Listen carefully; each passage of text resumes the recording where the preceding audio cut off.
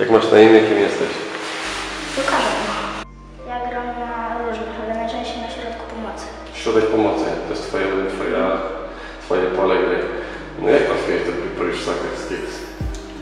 Eee, Przechodziłem testy. No, Najlepiej z nich według mnie poszła mi żonglerka. Eee, 64 podbicia.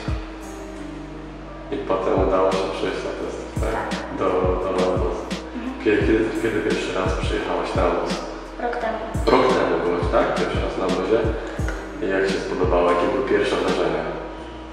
Fajnie było. Co się podobało? Co było fajne? Ogólnie te boiska były fajne.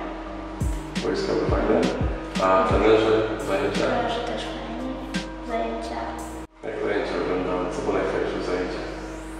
Mecz. Mecz pewno? A, Mecz były. Ile masz teraz lat? Teraz mam, 10 lat takiej ciężkiej pracy przed tobą. Mm, Chcesz zostać piłkarzem w przyszłości? tak. W jakim klubie byś chciał grać? Mam nadzieję, że w Barclays, to znaczy teraz już Premier League. W Premier League byś chciał, czyli Liga Angielska. Tak.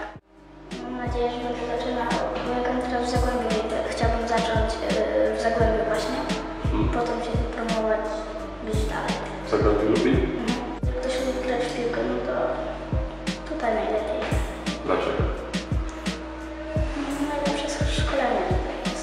A reprezentacja dla Ciebie, jakie to ma znaczenie, że jesteś reprezentantem Projekt Soccer Space? Takie fajne uczucie. Tak? Przyjemne. Przyjemne. Koledzy tutaj, jaki poziom